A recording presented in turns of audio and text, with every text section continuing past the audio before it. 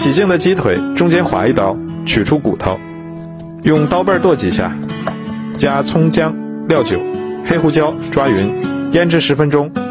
油热，鸡皮朝下，小火慢煎，煎至微微金黄，翻面。好吃的关键就是放入一小包这个照烧酱汁儿，还可以做照烧牛排、照烧排骨，都非常好吃。倒入半碗清水，盖上盖子煮三分钟，开盖再煮一分钟，慢慢收浓汤汁即可出锅，真的是满屋飘香。喜欢的朋友赶快做起来吧。